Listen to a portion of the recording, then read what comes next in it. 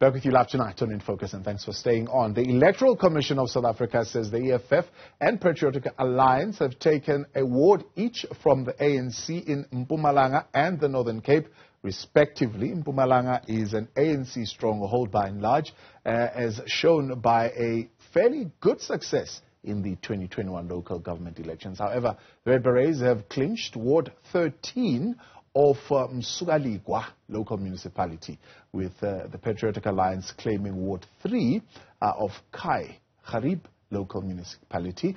Uh, and to help us make sense of all this, of course, the man who was always watching these numbers very carefully and giving analysis, Wayne Sussman. Good to have you, and thank you very much for your time. Thank you. It's good to be here. Let's start in the Northern Cape. Very interesting. Ward 1, uh, Roodepan, uh, Platfontein in the Sol Plaatje uh, municipality. PA there getting 53% from 25% uh, previously. ANC 35%, slight drop from 32%, uh, uh, a slight increase actually. Um, um, um, I mean to say. It's the DA that has, seen a drop from 25% to 7%. The EFF getting a percentage there, 2%.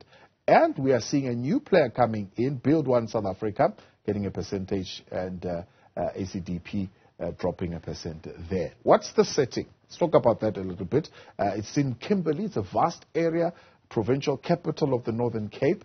Uh, what have been the dynamics that have been playing out? Sure. So this is the second by-election in this ward uh, in 2023, not even since 2021, but in 2023. And why are we having a by-election again? Because the ANC councillor defected to the Patriotic Alliance. Right. And this is a significant result for the Patriotic Alliance because after the 2021 local government elections, the ANC won 33 out of 65 seats. And I know it's late and it's been a long day, but that gave them an outright majority with the Patriotic Alliance winning the seat off the ANC, the ANC drops to 32 out of 65 seats. That means that the ANC no longer enjoys an outright majority in the largest, most populous municipality in the Northern Cape, Sol Plaatje, which is Kimberley. So how did the PA do this? They, the ward is interesting. Roodepan is a lower middle class coloured area of the ward they ran up the numbers here. And they ran up the numbers because I started the interview by saying the ANC councillor walked over to the Patriotic Alliance. Right. Here, the DA candidate who was on the ballot, so they, they were running to win the ward. What, when the nominations closed, they walked over to the Patriotic Alliance. So the DA effectively didn't contest the election. Oh. And the Patriotic Alliance benefits from that. It won over former independent voters. Right. It energizes base and has won its first ward uh, by election in the Northern Cape. So it's a significant result for them. Yeah. The, the defection obviously not having quite a huge impact. I mean, uh, yes, it's significant. 35% uh, uh, uh, is where the ANC is sitting. Uh, but by and large, this would be the result of the DA not participating. That was a major contributing factor, but you also have to give credit to the Patriotic Alliance. They uh, came third here the last time round, and they've won this ward now, and are a player in uh, certainly Sol Plaatje politics and Northern Cape politics. Yeah. And the ANC might need to go knocking on their door to remain in power. The ANC will either go to good or, the, in my opinion, the Patriotic Alliance because they don't no longer have an outright majority and they need a coalition partner to govern this key municipality. Right. We are seeing the coming in of, of uh, Build One South Africa for the first time. Now, how did they do? They didn't do well. I was very surprised that this was the first uh, by election they contested in South Africa. It was their debut. They only got 1%. Uh, and they'd be disappointed. I don't know how that decision was made. And I think going forward, they'll need to choose their wards more selectively. Yeah. Does this in any way, of course, uh, indicate what would be the direction in this particular municipality, uh, maybe even in, in, in, in, the province, considering, of course, that uh, the DA is not going to make the same mistake again, and will they be able to get those voters back? Well, that remains to be seen. The Patriotic Alliance have a golden opportunity now to uh, govern and uh, Ward 1 yeah. and show that they've done a. Because this ward historically has uh, swung between the ANC and the DA, and now is their golden opportunity to say we can do a better job than the ANC and we can do a better job than the DA. And if they do that, Sol Plaatje is a large municipality. The, they'd hope that that PA green wave flows across Kimberley and indeed other parts of the Northern Cape. Yeah. Let's talk about Sol Plaatje. What, what, if you're saying if they do well, what, what exactly are some of the challenges in this local municipality? The water challenges, I mean, this is the provincial capital of the Northern Cape, infrastructure challenges, there's uh, unemployment challenges, but I think getting the infrastructure challenges will be key for the new Patriotic Alliance councillor. Right. Let's turn now a little bit to Mpumalanga and, and, and, and see what's, what's happening in, in, in, in, those uh, uh, by-elections where it seems the, the EFF has taken over some seats.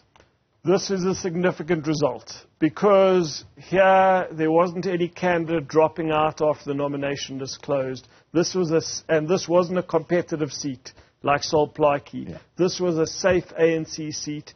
Uh, just to tell the viewers where uh, it's in the Msukaligwa municipality, north of Ermelo, the small coal mining town of Breyten. And here the EFF turns the tables in the ANC. They almost double their percentage support to get 60% of the vote.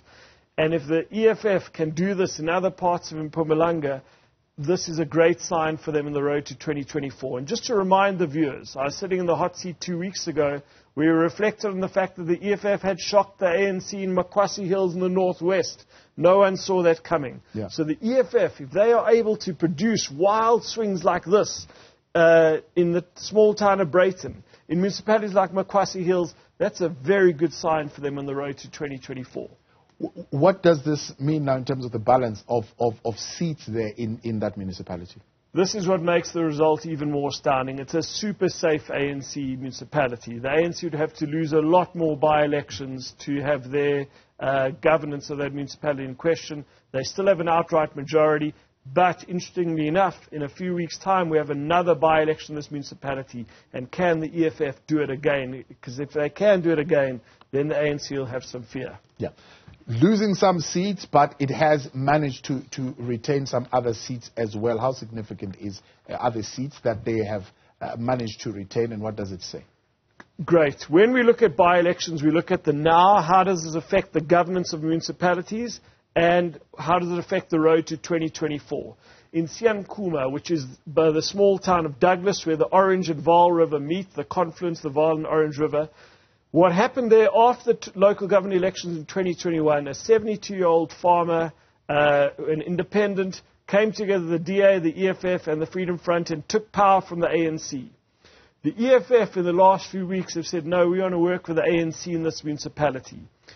But they couldn't properly get rid of the Speaker and the Mayor because, the, because of this vacancy. Right. The ANC retains this ward. That means that the ANC can replace, uh, now have a mayor in Siyancuma, and the EFF will probably get the speaker position. So we see a change of government. ANC holds a seat, but a change of government because the EFF have switched sides. What was interesting in this uh, particular by-election, the, it's a small town of Schmidtsdrift, a very rural ward, but in the area of Schmidtsdrift, in this large ward, the EFF won, got the most votes there. And that's another good sign for the EFF in the Northern Cape. So the EFF will look at the result within the ward. They didn't win the ward. I'm talking about the voting district of Schmidtsdrift. They carried that. They won a by-election in Mpumalanga. A good sign for them. But the ANC will probably have the mayor here. Then we go to Kai Garib in the town of Kakamas where the Augrabies National Falls are. The ANC had to hold the, retain the ward here to keep power. And they beat a local party and the DA in a tough contest, and they'll now retain their outright majority. And that's a good sign for the ANC in the Northern Cape. They want to show that they can continue to run these municipalities. What is quite significant here, Wayne, and you're saying is a characteristic of these by elections, is how many people actually turned out to vote? Correct. Sometimes we can be dismissive of by-elections, that we can't take them seriously, no one shows up. Yeah. In most of the by-elections which took place yesterday, uh, yesterday, turnout exceeded that of the local government elections.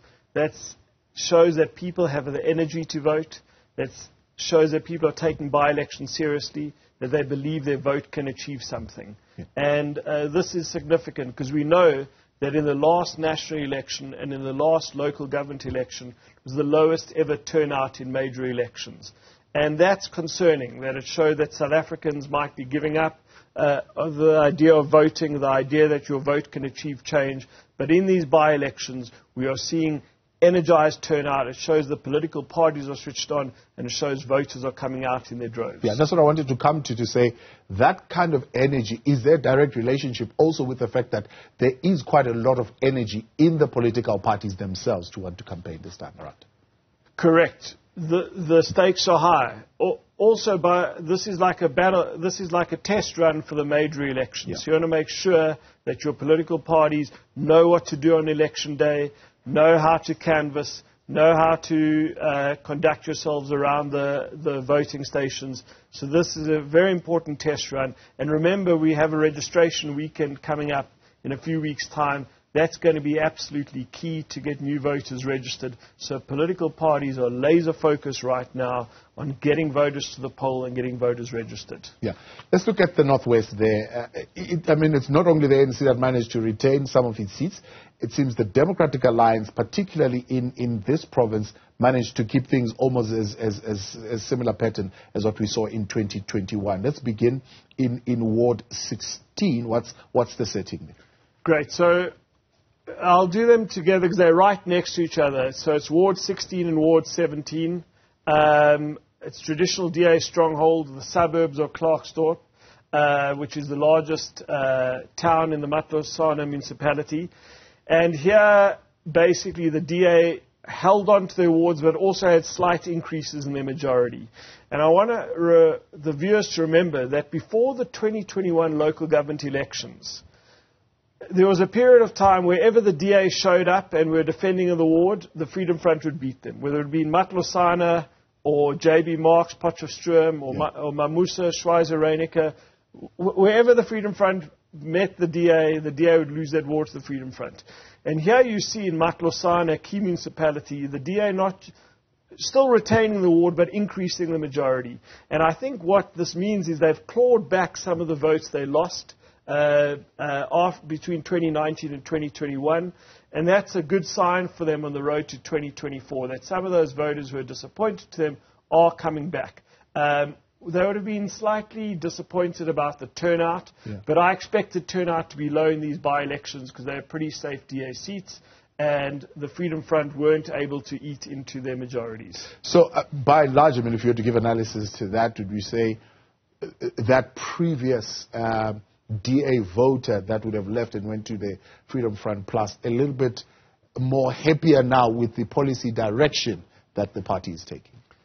That seems to be the case in the Northwest Province.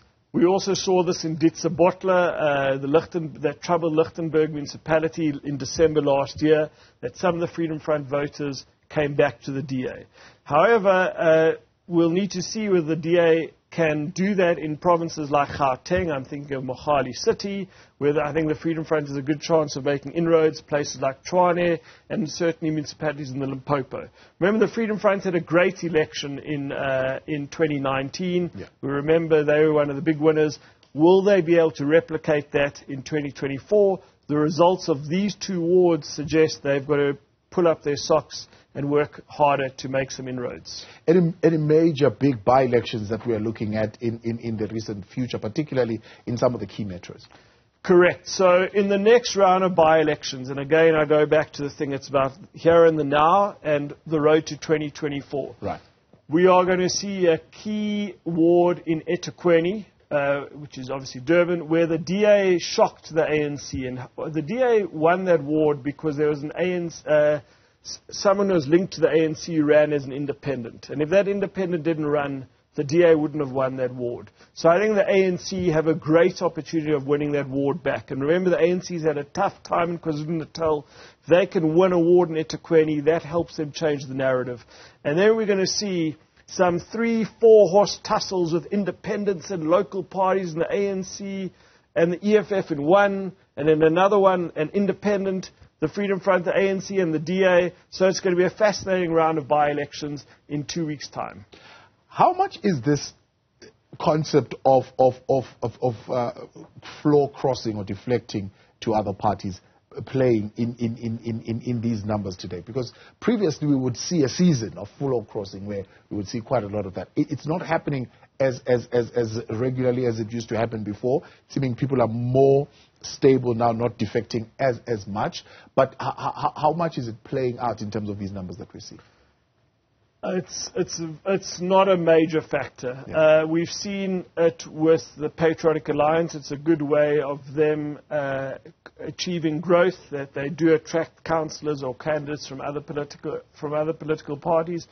But it's not, um, it's, it's slowed down a lot. I mean, uh, there are going to be some by elections coming up where Action SA is going to be contesting against the DA, but though those aren't councillors defecting to Action SA per se. So it's not, not a factor right now. Remember the legislation changed. There was a time in Parliament, if you remember, I think in the Mbeki era, where uh, politicians were defecting en masse to yeah. political parties, yeah, certainly indeed. the ANC. Yeah. And it's less of a factor today. Independence, we are, of course, having independence already uh, uh, playing a, a, significant role within local government space and um, with uh, the uh, Electoral Amendment Act, it is hoped that independence will play even a bigger role uh, within the national as well as the provincial space. Are we, are we seeing that kind of major role being played out in these by-elections? Yeah, independ- there was an independent candidate in the Siyancuma uh, by-election in rural Northern Cape yesterday near Douglas. That candidate it was a three-horse race. They got over 20% of the vote. But I, I, think the people backing that particular candidate thought they were going to do a bit better. They had links to the ANC, etc. So it's hard. Uh, so it's, it's very, very hard. I mean, the most, uh, the independent who I think will make the biggest splash at this stage in the elections next is someone like Zackie Achmat, the famous uh, activist and founder of Treatment Action Campaign, who's relatively well known in Cape Town. Right. Uh, a party like Good, I think, is um, has, ch- uh, has some challenges right now. Maybe he'll attract some of their voters. He's well known in Cape Town. He's got, uh, he can, he's an activist. He can build uh, branches, networks. But I can't think of any other independent at this very hour who is going to shake up the elections next year. But I, I, like being surprised, like the EFF did it last night in the small town of Breyten, and I'm sure there are going to be many surprises between now and election night. When you sit at, at, at home and you're looking at your graphs there, amongst the other things that you do, Wayne, but I'm sure you like to look at this and, and see the patterns of, of, of, of growth. Where are you seeing most growth? So I think the IFP in KwaZulu-Natal is a real story. Um, they not just taking votes from the ANC, they're also taking votes from the EFF, and this is something to watch. I think that they can be a big uh, success story uh, in the 2024 elections. And I think there's a key thing here. Um, I listen to a lot of politicians speak on television, on the radio, watch them the rallies, and I think the thing with the IFP is they're focused thing of the Patriotic Alliance is another party, as they show. They've just won a by-election in Kimberley. They've won a by-election in George. They are also focused. And I think that's going to be key. Political parties who know where their voters are, who are focused on their voters, have the opportunity to do well in the next election. But also, we've got so many new parties running for the first time uh, in a national election. Action SA, Rise Mzansi, Build One South Africa, and a whole host of new parties. It's going to be interesting to see how they can capture the hearts and minds and imagination of South Africans in the coming months. I saw something I thought I should pick your brain on because I, I found it quite interesting. In fact, I kept asking myself, why would we do that? Um, the the what, what, do they call themselves? I forget the name, but they were supposed to be a moonshot pact, but they yes. they, they ended multi up multi charter. Multi party charter, yeah, that's. They went on a plane and went. I think it's Germany, where yes, where, where, where, where they went to see how coalitions are, are, are, being run there. Why would they do that? I mean, is, is, there no other model that they could possibly look at? Well, coalitions have been a major challenge in South Africa on a local government level. Just a reminder that in all of our nine provinces right now, there, there's no coalition. It's the ANC runs eight, eight, of the, eight provinces and the DA runs one province. Yeah.